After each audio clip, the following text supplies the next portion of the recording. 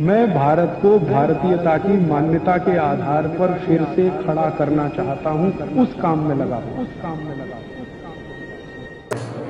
अब इसके आगे का एक सूत्र है, वो आप पूछेंगे भी प्रश्न के रूप में कि सवेरे उठते कितना पानी पिए? उसकी कोई मात्रा तो होगी। मात्रा तो हर चीज़ की है। तो सुबह उठते ही पानी कितना पिए, कितनी मात्रा होनी चाहिए? सामान्य रूप से ये कहा गया है कि जिनकी उम्र 18 वर्ष से लेकर 60 वर्ष के बीच में है।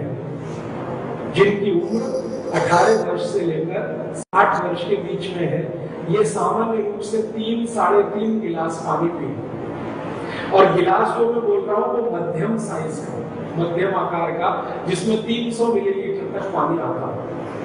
मतलब एक है कि एक से सवा लीटर पानी सुबह और जिनकी साठ वर्ष के ऊपर है।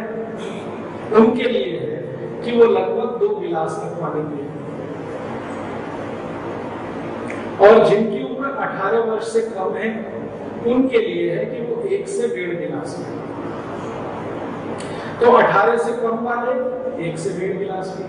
18 से 60 के बीच वाले तीन से साढ़े तीन गिलास पिए। 60 के ऊपर वाले लगभग दो पिए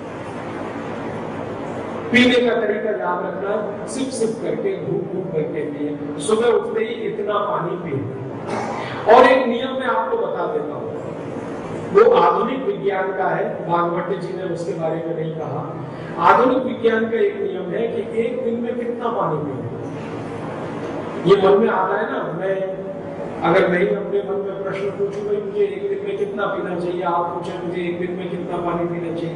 तो इसका सरल तरीका है जांचने का, वो ये कि आप एक दिन में जितना कुल द्रव पदार्थ पीते हैं, एक दिन में कुल जितना द्रव पदार्थ पीते हैं, उसका दो तिहाई पानी पिए।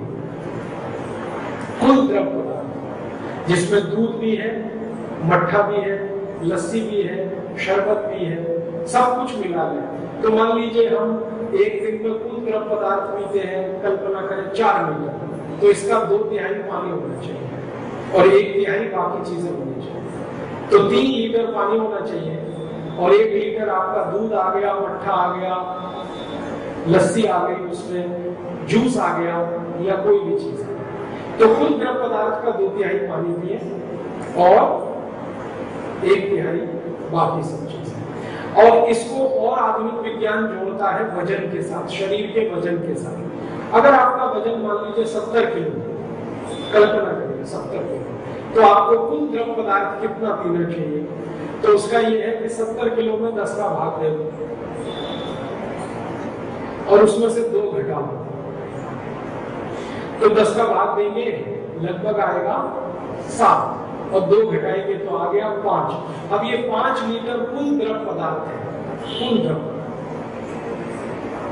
उसमें एक तिहाई छोड़ दो, दूध के लिए, मट्ठे के लिए, जूस के लिए, सब चीज़ों के। और दो तिहाई छोड़ दो पानी।